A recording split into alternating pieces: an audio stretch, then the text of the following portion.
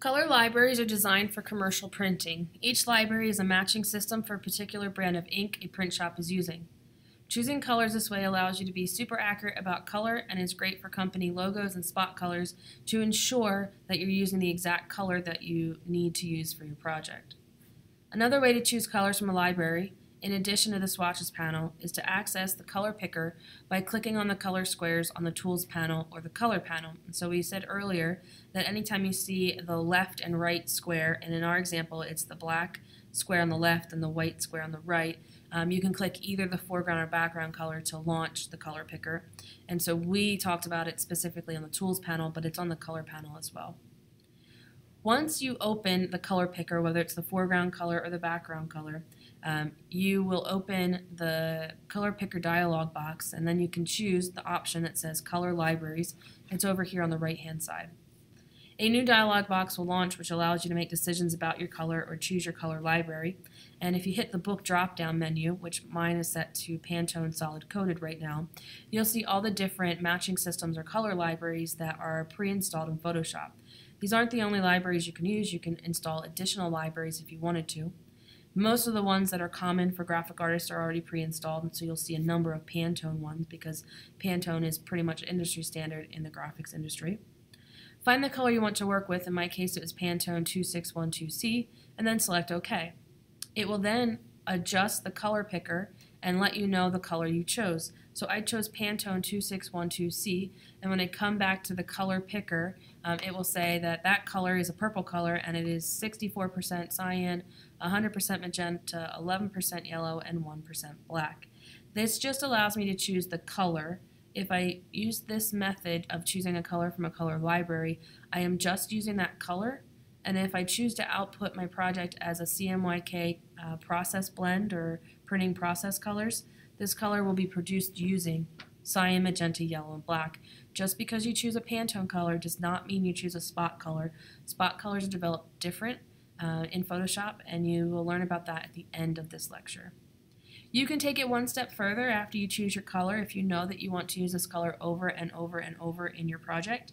Um, you can hit the Add to Swatches option within the Color Picker dialog, so you don't have to go to the Swatches panel to add it. And so when in doubt, I say go ahead and add the swatch. Um, worst case scenario, you have a bunch of swatches that you only use once, but you might come across a color that you end up using over and over, and having the swatch saved will save you a lot of time. There are a couple newer ways to look or choose color, look at or choose color in Photoshop. The first is called Adobe Color Themes. And so with Adobe Photoshop CC, you can work with Adobe Color Themes. You can use it to create and edit your own uh, colors. You can explore uh, color palettes that other designers have put together. You can see that over here. They're called color themes. You can uh, figure out what colors look nice with the color you're working with. And so sometimes we get stuck and we find a color we want to work with. Maybe it's this blue color here. And then we can't find colors that look good with it. You can use the Adobe Color Themes to explore how um, maybe complementary colors sync up to that or um, triad colors and different color themes.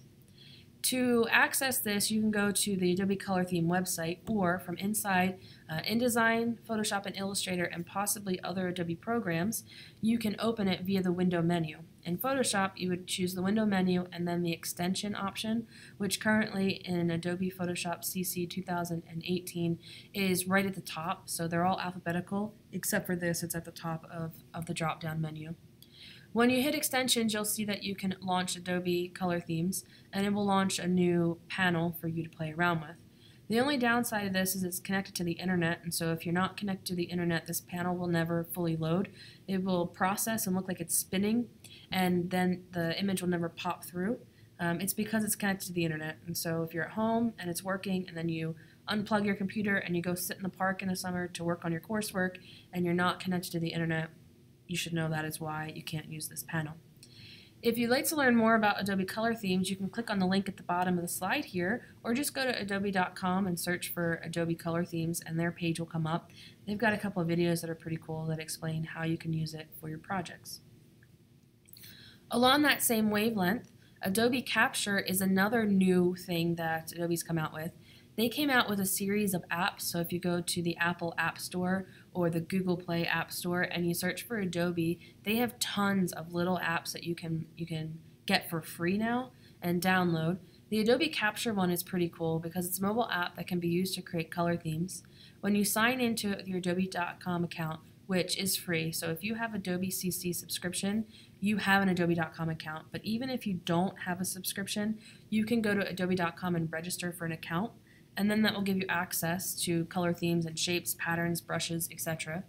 You can then, whatever you capture and use inside the app, you can save them to your Adobe CC library if you have an Adobe CC account. And then when you open Photoshop or Illustrator or InDesign and you open the library panel, you should be able to pull from these resources. If you'd like to learn more about Adobe Capture, you can click on the image. Um, it will take you to a video, or you can click on the word capture down here, and it will take you to Adobe.com's Adobe Capture help page, which has information on Adobe Capture and also has some videos that you can watch.